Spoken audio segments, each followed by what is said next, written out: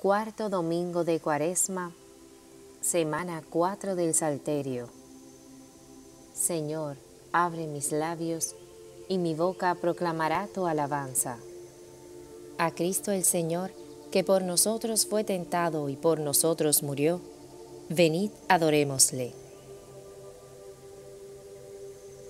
Venid, aclamemos al Señor, demos vítores a la roca que nos salva entremos a su presencia dándole gracias, aclamándolo con cantos, porque el Señor es un Dios grande, soberano de todos los dioses. Tiene en su mano las cimas de la tierra, son suyas las cumbres de los montes. Suyo es el mar, porque Él lo hizo, la tierra firme que modelaron sus manos. Venid, postrémonos por tierra bendiciendo al Señor, Creador nuestro porque Él es nuestro Dios y nosotros su pueblo, el rebaño que Él guía.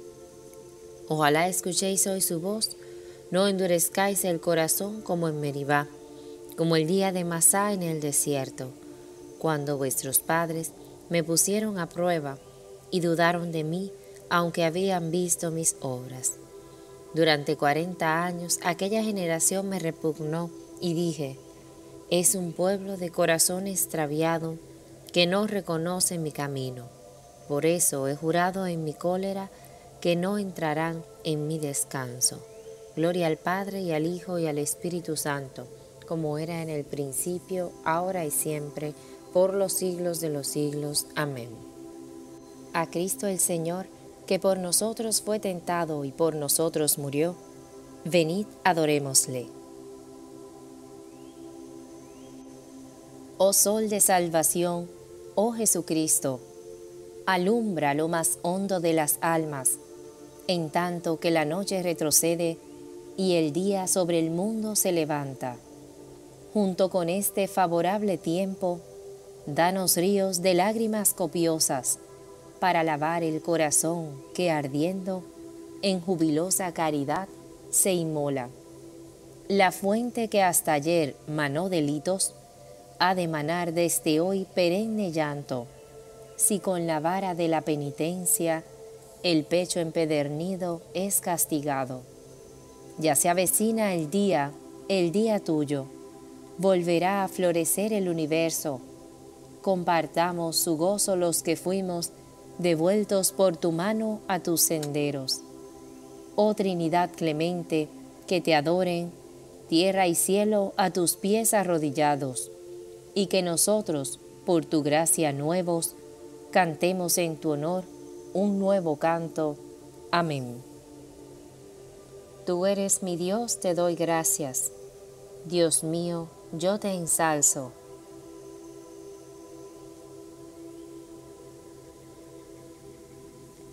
Dad gracias al Señor porque es bueno, porque es eterna su misericordia. Diga la casa de Israel, Eterna es su misericordia. Diga la casa de Aarón, eterna es su misericordia. Digan los fieles del Señor, eterna es su misericordia. En el peligro grité al Señor y me escuchó poniéndome a salvo. El Señor está conmigo, no temo. ¿Qué podrá hacerme el hombre? El Señor está conmigo y me auxilia veré la derrota de mis adversarios. Mejor es refugiarse en el Señor que fiarse de los hombres. Mejor es refugiarse en el Señor que confiar en los magnates. Todos los pueblos me rodeaban, en el nombre del Señor los rechacé. Me rodeaban cerrando el cerco, en el nombre del Señor los rechacé. Me rodeaban como avispas ardiendo como fuego en las zarzas. En el nombre del Señor los rechacé. Empujaban y empujaban para derribarme, pero el Señor me ayudó. El Señor es mi fuerza y mi energía, Él es mi salvación. Escuchad, hay cantos de victoria en las tiendas de los justos. La diestra del Señor es poderosa, la diestra del Señor es excelsa la diestra del Señor es poderosa. No he de morir, viviré, para contar las hazañas del Señor. Me castigó, me castigó el Señor, pero no me entregó a la muerte. Abridme las puertas del triunfo y entraré para dar gracias al Señor. Esta es la puerta del Señor, los vencedores entrarán por ella. Te doy gracias porque me escuchaste y fuiste mi salvación. La piedra que desecharon los arquitectos es ahora la piedra angular. Es el Señor quien lo ha hecho, ha sido un milagro patente. Este es el día en que actuó el Señor. Sea nuestra alegría y nuestro gozo. Señor, danos la salvación. Señor, danos prosperidad. Bendito el que viene en nombre del Señor. Os bendecimos desde la casa del Señor. El Señor es Dios, Él nos ilumina. Ordenad una procesión con ramos hasta los ángulos del altar. Tú eres mi Dios, te doy gracias. Dios mío, yo te ensalzo. Dad gracias al Señor porque es bueno, porque es eterna su misericordia. Gloria al Padre y al Hijo y al Espíritu Santo, como era en el principio, ahora y siempre, por los siglos de los siglos. Amén. Tú eres mi Dios, te doy gracias. Dios mío, yo te ensalzo. Capaz eres, Señor, de liberarnos de la mano del poderoso. Líbranos, Señor, Dios nuestro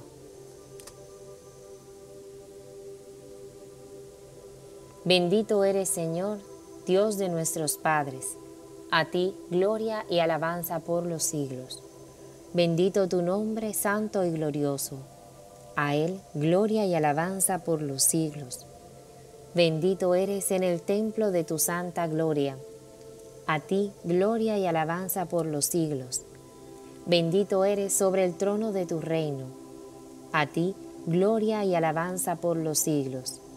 Bendito eres tú, que sentado sobre querubines sondeas los abismos. A ti gloria y alabanza por los siglos. Bendito eres en la bóveda del cielo.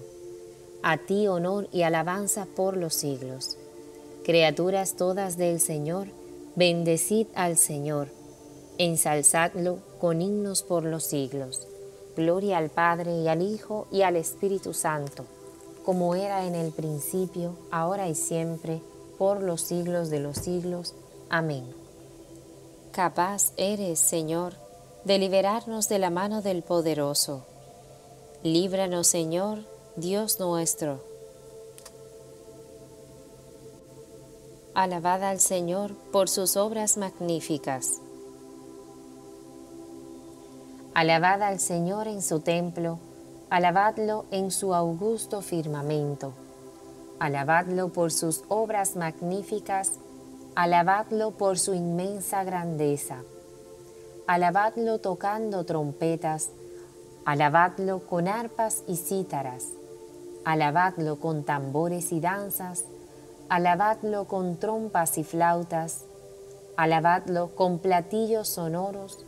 Alabadlo con platillos vibrantes todo ser que alienta, alabe al Señor. Gloria al Padre y al Hijo y al Espíritu Santo, como era en el principio, ahora y siempre, por los siglos de los siglos. Amén. Alabad al Señor por sus obras magníficas. Del libro de Nehemías. Este día está consagrado al Señor vuestro Dios. No hagáis duelo ni lloréis no estéis tristes. La alegría del Señor es vuestra fortaleza. Cristo, Hijo de Dios vivo, ten piedad de nosotros. Tú que fuiste triturado por nuestros crímenes, ten piedad de nosotros. Gloria al Padre, y al Hijo, y al Espíritu Santo. Cristo, Hijo de Dios vivo, ten piedad de nosotros. De la carta a los Hebreos. Hermanos, Melquisedec, rey de Salem, sacerdote del Dios Altísimo, salió al encuentro de Abraham cuando éste volvía de derrotar a los reyes. Bendijo a Abraham y recibió de éste los diezmos de todo. Pues bien, primeramente, según se interpreta su nombre, es Rey de Justicia, y en segundo lugar, es Rey de Salem, esto es, Rey de Paz. Aparece sin padre, sin madre, sin árbol genealógico. No se indica ni el comienzo ni el final de su vida, y como verdadera figura del Hijo de Dios, permanece sacerdote para siempre. Considerad cuán grande era este hombre a quien Abraham, por ser patriarca, dio los diezmos de lo mejor del botín. Los descendientes de Leví, que reciben el sacerdocio, tienen mandado por la ley recibir los diezmos de los bienes del pueblo, esto es, de sus hermanos, aunque también éstos pertenecen a la misma descendencia de Abraham. En cambio, Melquisedec, que no se cuenta entre su linaje, recibió los diezmos de Abraham y bendijo al depositario de las promesas. Está fuera de duda que el inferior es bendecido por el superior. Y además, los levitas que recibían los diezmos eran hombres que iban muriendo. Melquisedec, en cambio, es alguien de quien se atestigua que vive. Y en cierto modo, el mismo Leví, que recibe los diezmos, los paga en la persona de Abraham pues ya estaba entonces en las entrañas de su padre Abraham cuando Melquisedec le salió al encuentro. Palabra de Dios, te alabamos Señor. Melquisedec, rey de Salem, presentó pan y vino, pues era sacerdote del Dios Altísimo y figura del Hijo de Dios, al cual dijo el Señor con juramento, Tú eres sacerdote eterno según el rito de Melquisedec.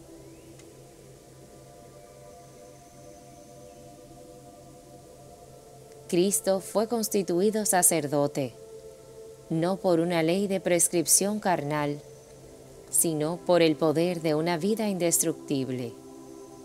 A él dijo el Señor con juramento, Tú eres sacerdote eterno según el rito de Melquisedec de los tratados de San Agustín, obispo, sobre el Evangelio de San Juan. El Señor dice, Yo soy la luz del mundo. El que me sigue no camina en tinieblas, sino que tendrá la luz de la vida. Esta breve sentencia contiene un mandato y una promesa. Cumplamos pues lo que nos manda, y así tendremos derecho a esperar lo que nos promete. No sea que nos diga el día del juicio, ya hiciste lo que te mandaba, pues que esperabas alcanzar lo que prometí. ¿Qué es lo que mandaste, Señor Dios nuestro? Te dice, que me siguieras. Has pedido un consejo de vida, ¿y de qué vida sino de aquella acerca de la cual está escrito? en ti está la fuente viva. Por consiguiente, ahora que es tiempo, sigamos al Señor, deshagámonos de las amarras que nos impiden seguirlo. Pero nadie es capaz de soltar estas amarras sin la ayuda de aquel de quien dice el Salmo, rompiste mis cadenas. Y como dice también otro Salmo, el Señor liberta a los cautivos, el Señor endereza a los que ya se doblan. Y nosotros, una vez libertados y enderezados, podemos seguir aquella luz de la que afirma, yo soy la luz del mundo. El que me sigue no camina en tinieblas, sino que tendrá la luz de la vida. Porque el Señor abre los ojos al ciego Nuestros ojos, hermanos, son ahora iluminados por el colirio de la fe, para iluminar al ciego de nacimiento Primero le untó los ojos con tierra mezclada con saliva. También nosotros somos ciegos desde nuestro nacimiento de Adán y tenemos necesidad de que Él nos ilumine. Mezcló saliva con tierra. La palabra se hizo carne y puso su morada entre nosotros. Mezcló saliva con tierra. Por eso estaba escrito, la verdad brota de la tierra. Y él mismo dijo, yo soy el camino, la verdad y la vida. Disfrutaremos de la posesión de la verdad cuando lo veamos cara a cara, ya que también esto se nos ha prometido. Pues, ¿cómo nos atreveríamos a esperar lo que Dios no se hubiera dignado prometernos o darnos? Veremos cara a cara como dice el apóstol. Al presente conozco imperfectamente, como en un espejo y borrosamente. Entonces lo veremos cara a cara. Y el apóstol Juan dice en su carta, Queridos hermanos, ahora somos hijos de Dios y aún no se ha manifestado lo que seremos. Sabemos que cuando se manifieste, seremos semejantes a Él porque lo veremos tal cual es. Se trata en verdad de una gran promesa. Si lo amas, síguelo. Lo amo, me respondes. Mas ¿por dónde he de seguirlo? Si el Señor, tu Dios, te hubiese dicho, yo soy la verdad y la vida, tú, deseoso de esta verdad y de esta vida, tendrías razón de decirte a ti mismo, gran cosa es la verdad, gran cosa es la vida, si hubiese un camino para llegar a ellas. ¿Preguntas cuál es el camino? Fíjate que el Señor dice en primer lugar, yo soy el camino. Antes de decirte a dónde, te indica por dónde. Yo soy, dice, el camino. ¿El camino hacia dónde? La verdad y la vida. Primero dice por dónde has de ir, luego a dónde has de ir. Yo soy el camino, yo soy la verdad, yo soy la vida. Permaneciendo junto al Padre, es verdad y vida. Haciéndose hombre, se hizo camino. No se te dice, esfuérzate en hallar el camino para que puedas llegar a la verdad y a la vida. No, ciertamente. Levántate perezoso. El camino en persona vino a ti, te despertó del sueño, si es que ha llegado a despertarte. Levántate pues y camina. Quizá te esfuerzas en caminar y no puedes, porque te duelen los pies. ¿Por qué te duelen? ¿No será porque movidos por la avaricia, han recorrido lugares escabrosos. Pero aquel que es la palabra de Dios curó también a los cojos. Resulta, dirás, que tengo sanos los pies, pero no acierto a ver el camino. Piensa entonces que también abrió los ojos al ciego. De los tratados de San Agustín Obispo sobre el Evangelio de San Juan. Odio el camino de la mentira. Lámpara es tu palabra para mis pasos, luz en mi sendero.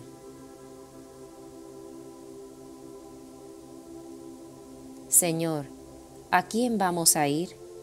Tú tienes palabras de vida eterna. Lámpara es tu palabra para mis pasos, luz en mi sendero. Del Evangelio según San Juan. Según caminaba, vio a un hombre ciego de nacimiento.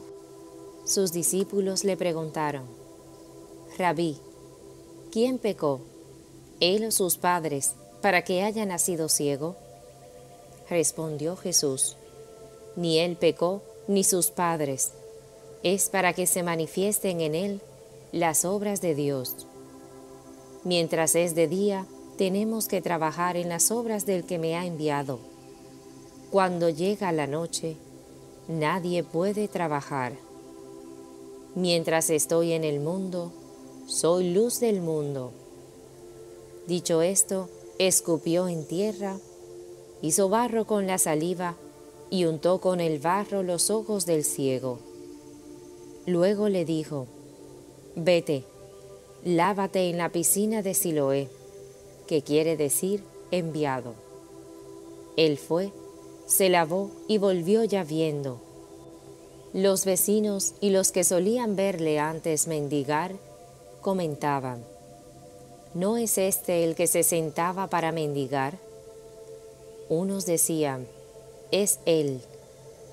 No, decían otros, será alguien que se le parece. Pero él decía, soy yo.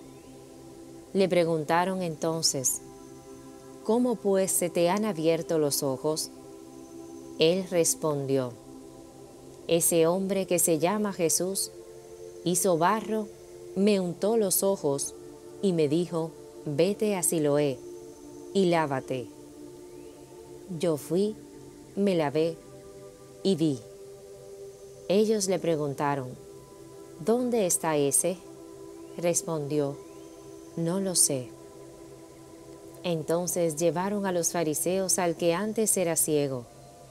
Era sábado el día en que Jesús hizo barro y le abrió los ojos. También los fariseos le preguntaron cómo había recobrado la vista.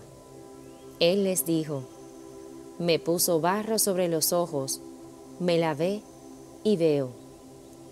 Algunos fariseos comentaban, este hombre no viene de Dios porque no guarda el sábado.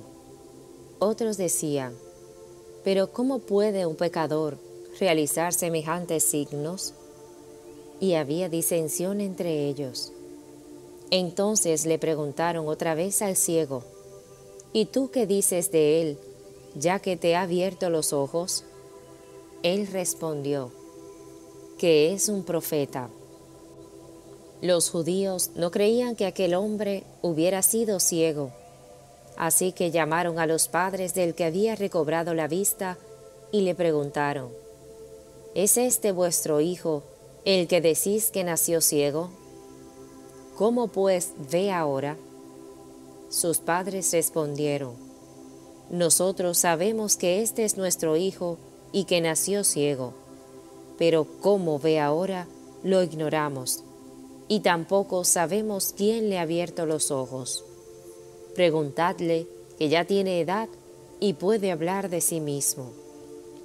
Sus padres decían esto por miedo a los judíos, pues estos se habían puesto ya de acuerdo en que si alguno lo reconocía como Cristo, quedara excluido de la sinagoga. Por eso dijeron sus padres, edad tiene, preguntádselo a él. Llamaron por segunda vez al hombre que había sido ciego y le dijeron, Da gloria a Dios. Nosotros sabemos que ese hombre es un pecador. Les respondió, Si es un pecador, no lo sé. Solo sé una cosa, que era ciego y ahora veo. Le preguntaron entonces, ¿qué hizo contigo? ¿Cómo te abrió los ojos? Él replicó, Os lo he dicho ya y no me habéis escuchado. ¿Por qué queréis oírlo otra vez? ¿Es que queréis también vosotros haceros discípulos suyos? Ellos le llenaron de injurias y le dijeron, Tú serás discípulo de ese hombre nosotros somos discípulos de Moisés. Nosotros sabemos que a Moisés le habló Dios, pero ese no sabemos de dónde es. El hombre les respondió, Eso es lo extraño, que vosotros no sepáis de dónde es y que me haya abierto a mí los ojos. Sabemos que Dios no presta atención a los pecadores. Sin embargo, Escucha al que es religioso y cumple su voluntad. Jamás se ha oído decir que alguien haya abierto los ojos de un ciego de nacimiento. Si éste no viniera de Dios, no podría hacer nada. Ellos le respondieron, Has nacido todo entero en pecado, y pretendes darnos lecciones. y lo echaron fuera. Jesús se enteró de que lo habían echado fuera.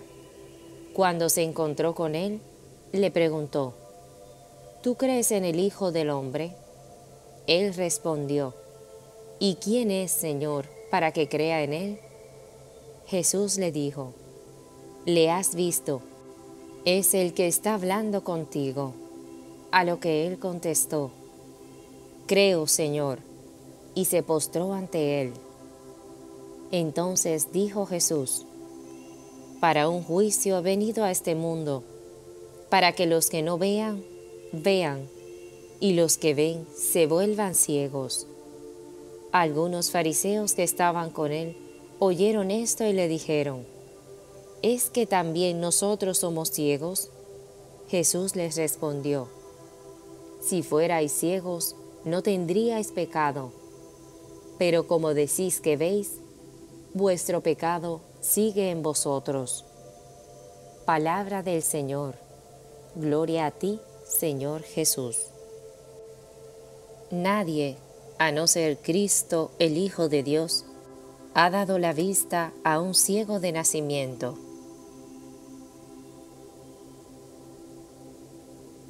Bendito sea el Señor, Dios de Israel, porque ha visitado y redimido a su pueblo suscitándonos una fuerza de salvación en la casa de David, su siervo, según lo había predicho desde antiguo por boca de sus santos profetas.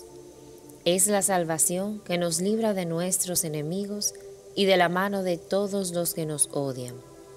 Ha realizado así la misericordia que tuvo con nuestros padres, recordando su santa alianza y el juramento que juró a nuestro padre Abraham para concedernos que libres de temor, arrancados de la mano de los enemigos, le sirvamos con santidad y justicia en su presencia todos nuestros días. Y a ti, niño, te llamarán profeta del Altísimo, porque irás delante del Señor a preparar sus caminos, anunciando a su pueblo la salvación, el perdón de sus pecados.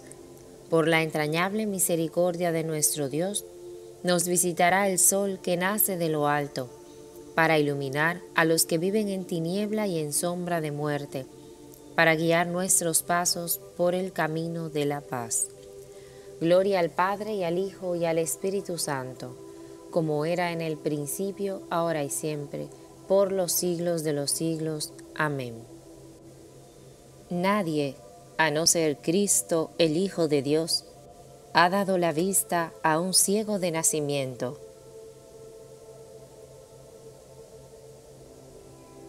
Glorifiquemos a Dios, cuya bondad es infinita, y elevemos a Él nuestra oración por medio de Jesucristo, que está siempre vivo para interceder en favor nuestro. Digámosle, enciende Señor en nosotros la llama de tu amor Dios de misericordia, haz que hoy nos entreguemos generosamente a las obras de amor al prójimo, para que tu misericordia, a través de nosotros, llegue a todos los hombres. Enciende, Señor, en nosotros la llama de tu amor. Tú que en el arca salvaste a Noé de las aguas del diluvio, salva por el agua del bautismo a los catecúmenos Enciende, Señor, en nosotros la llama de tu amor.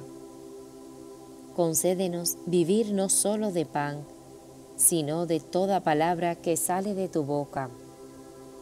Enciende, Señor, en nosotros la llama de tu amor. Haz que con tu ayuda venzamos toda disensión y podamos gozarnos en el don de tu paz y de tu amor Enciende, Señor, en nosotros la llama de tu amor. Invoquemos a Dios Padre con la oración que nos enseñó Jesús. Padre nuestro que estás en el cielo, santificado sea tu nombre. Venga a nosotros tu reino. Hágase tu voluntad en la tierra como en el cielo.